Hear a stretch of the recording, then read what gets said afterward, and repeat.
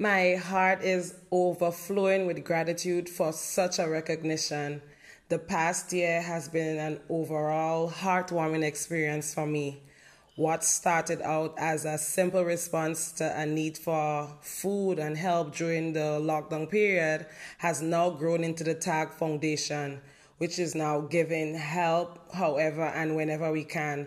The true essence of the art of giving. This is how Tamika Gilbert responded as GBN sought to find out how she felt when she got the news. Tamika created the Art of Giving Charitable Foundation in April 2020 following the coronavirus outbreak to encourage people to donate care and relief items to help vulnerable members of society during the pandemic. She has been spurred on by this award and hopes to inspire the true art of giving among Grenadians. It is my hope that as a Point of Light awardee, I am able to ignite a new era of human giving here in Grenada.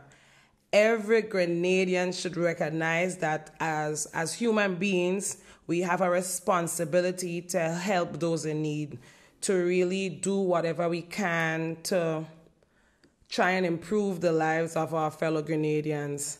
I must say that I have to give credit to the tag team of volunteers and the donors whose generosity um, really is the reason why I'm getting this award today. Without them, I definitely couldn't do all that I've done in the past year.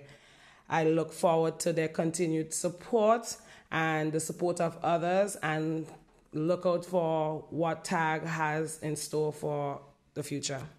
So far, over 200 families have been supported, and the foundation also distributed emergency supplies further afield to people affected by the recent volcanic eruption in St. Vincent and the Grenadines. By sharing these stories of service, the Commonwealth Points of Light Awards celebrate inspirational acts of volunteering across the Commonwealth and help inspire others to make their contribution to tackling some of the greatest social challenges of our time. Dr. Clinton Lewis and Mr. George Francis were also awarded the Most Excellent Order of the British Empire for services to humanity as part of the Queen's Birthday Honour List for 2021. Evans Goodin and Leonard Joy Peters for services to agriculture were awarded the British Empire Medal.